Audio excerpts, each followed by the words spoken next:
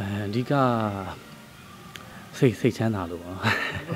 စိတ်ချမ်းသာတယ်ပြီးတော့ကျွန်တော်စိတ်ညစ်ရင်ကျွန်တော်စိတ်ရှုပ်နေတာမှာကျွန်တော်ကိုစိတ်ချမ်းသာအောင်လုပ်ပေးမဲ့လူဘေးနားမှာ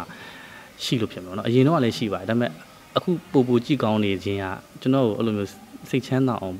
ပိုလုပ်ပေးနိုင်တဲ့လူရှိလို့ပဲလို့ကျွန်တော်အဲ့လိုထင်တယ်ဗောနော်အဲ့လိုမျိုးကျွန်တော်လာမေးရဲ့လူတွေဆိုအခုလိုလိုမေးခွန်းမေးရဲ့လူဆိုကျွန်တော်အဲ့လိုပဲဖြစ်ရတော့ကျွန်တော်ကိုယ်နဲ့ကိုယ်ကလည်းစိတ်ချမ်းသာတယ်ကျွန်တော်ကိုစိတ်ချမ်းသာအောင်လုပ်ပေးနေတဲ့လူပေးမှာရှိတယ်အရှိတော့ကျွန်တော်အဆင်ပြေတယ်စိတ်ချမ်းသာတော့ပိုကြည့်ကောင်းတယ်အဲ့လိုပဲထင်ပါတယ်ဟုတ် ဟုတ်ဟိုဒါကိုယ့်အတွက်ဘယ်လောက်ထိရောဒီအခြေရစိတ်ချမ်းသာစရာကောင်းနေတယ်ပေါ့ဒီလက်ရှိတိုင်းလာမှာပေါ့အဲ့ဒါလေး ဟိုအခြေရေးကြောင့်တော့စိတ်ချမ်းသာမဟုတ်ပါဘူးအဲ့လိုအဲ့လိုရလို့မဟုတ်ပါဘူးเนาะအာကျွန်တော်ဒီနေထိုင်မှုပုံစံပြီးတော့ ကျွန်တော်ရှေ့ရှေ့အရင်တုန်းကအာကျွန်တော်မှာနည်းနည်းပြဿနာအခက်အခဲလေးရှိတယ်အဲအဲ့တော့ကျွန်တော်ကျင်လည်နေတဲ့ပတ်ဝန်းကျင်မှာကျွန်တော်ဘယ်လိုနေထိုင်ရမလဲဘယ်လိုမျိုးသွားလာလှုပ်ရှားရမလဲဆိုတဲ့ဟာတွေကျွန်တော်တို့အတွေ့အကြုံတွေအာရင့်ကျက်မှုရတယ်ပေါ့နော်ရှားတဲ့ခါကျတော့အာအဲ့ဒီဟာတွေရဲ့သင်ခန်းစာအတိုင်းကျွန်တော်နေတယ်အဲ့ဒီတော့ဟိုစိတ်ချမ်းသာမှုမရှိရင်တော့မှအာ အချို့အရာတွေကကျွန်တော်တို့အဆင်ပြေနေရပေါ့နော်စိတ်စိတ်မချမ်းသာတွေကနည်းသွားတယ်အဲ့လိုမျိုးပေါ့နော်ဟိုအခြေရေးကြောင်းအချစ်ကြောင်းအဲ့အဲ့ effect ကတော့ပါကောင်းပါလိမ့်မယ်တရားမှာ15ရာခိုင်နှုန်းလောက်ပဲပေါ့နော်ကျွန်တော်ကျွန်တော်မိသားစုရှိရယ်နောက်ကျွန်တော်လုပ်ရက်က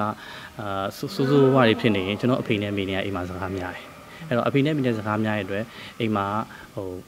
အိမ်တိမ်မှာမိသားစုမှာအဖေနဲ့မိစကားများအိမ်ကပူလောင်ရတယ်အဲ့ခါကျရင်ကျွန်တော်လည်းစိတ်ကြီးစိတ်ကြီးဆရာစိတ်ရှုဆရာပုံများအဲ့တော့ကျွန်တော်အနေထိုင်ပြုမှုကကောင်းနေတဲ့အတွက်ကျွန်တော်အဖေနဲ့မိနေရတယ်ကျွန်တော်အကောင်းမြင်တဲ့အတွက်သူတို့နှစ်ယောက်ရဲ့အမြင်ရတယ်ကျွန်တော်ပုံမှာမဆောင်ဘူးစကားများကြတော့အဲ့တော့တိမ်လုံးအကုန်လုံးကအေးချမ်းဖြစ်နေအဲ့ကျွန်တော်ပတ်ဝန်းကျင်ကစိတ်ချမ်းသာဖို့ကောင်းတယ်ဒါဥပမာပေါ့နော်အဲ့လိုမျိုးလေးဖြစ်နေတာများတဲ့အတွက်ကျွန်တော်အခုလိုဖြစ်နေရပဲဖြစ်မှာပေါ့ဒါပုံမှန်ဆိုလို့ရှိရင်ဘုရားကဒါလိမ္မာတဲ့အားထဲမှာပါဘောထိတ်ဆုံးပါဘလူကြီးကြီးထိတ်ဆုံးပါဘောဟုတ်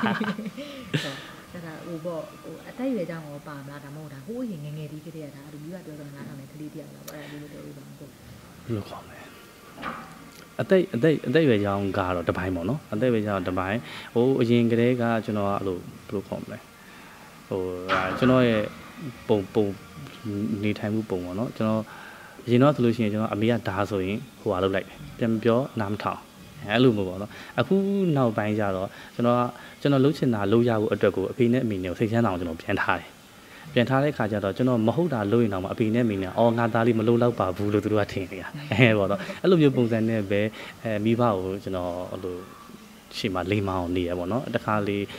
ဟိုကိုလှုပ်ချင်တဲ့အရာတခုကိုပြောရင်တော့မှတချို့ကိစ္စတွေကမိဘခွင့်မပြုတဲ့ကိစ္စတွေရှိရမိဘစိတ်ထဲမှာမနစ်သက်တဲ့ကိစ္စမျိုးတွေရှိတယ်ပေါ့နော်အဲ့ခါကျရင်ကျွန်တော်အဖေနဲ့အမေကျွန်တော် white line သုံးတယ်ပေါ့ အဲအဲ့လိုမျိုးလေးသုံးပြီးကျွန်တော်နေတဲ့ခါကျအဖေနဲ့အမေရဲ့စိတ်ထဲမှာအာမကောင်းတာတွေမဟုတ်တာတွေမလုပ်တော့ဘူးထင်ပြီးတော့သူတို့ကအဲ့လိုဘယ်လိုခေါ်မေတ္တာစိတ်လေးနဲ့ကြည်နေအဲ့တော့ကျွန်တော်ဟိုမိဘမေတ္တာကျွန်တော်မရှာတော့ဘူးပေါ့နော်အဲ့လိုပုံစံလေးဒါကျွန်တော်သင်ပေးရလူရှိလို့ပါကျွန်တော်အဲ့လိုမျိုးလေးနေအဲ့လိုမျိုးလေးနေတဲ့ခါကျတော့ကျွန်တော်ညဘက်တွေအိမ်ပြန်မလာဘူးကျွန်တော်အိမ်ပြန်နောက်ကြရဲဆိုလို့ရှိရင်အဖေနဲ့မိနေကဟိုကျွန်တော်ပုံမှာဩအလုပ်တွေများနေလို့တခုခုခက်ခဲ အလုပ်မပြီးသေးလို့အဲ့လိုပဲထင်တယ်ကျွန်တော်ရှောက်သွားနေတာတို့ပြက်စီးနေတာတို့အဲ့လိုမျိုးတွေမထင်တော့အဲ့လိုမျိုးမထင်အောင်လည်းကျွန်တော်နေခဲ့အဲ့တော့မိဘကိုစိတ်ချမ်းသာအောင်ကျွန်တော်နေတယ်ဒါပေမဲ့တစ်ဖက်မှာတော့ကျွန်တော်လုပ်တာတွေကလွဲကျင်လွဲနေမယ်စောင်းရင်စောင်းနေမယ်ကောင်းရင်ကောင်းနေမယ်ပေါ့နော်ဒါပေမဲ့မိဘတွေအမြင်မှာတော့ကျွန်တော်ကကောင်းတာတွေပဲလုပ်တယ်လို့ထင်နေတဲ့အတွက်အဲကျွန်တော်အဲ့လိုမိဘမြတ်တာရှိရောင်ပြန်ဟက်နေလို့ကျွန်တော်ထင်တယ်ဟုတ်သင်ပေးရသူကြီးပြောတာရားတယ်ပေါ့အဲ့တော့မပြောဘူးပေါ့နော်ဟုတ်ကဲ့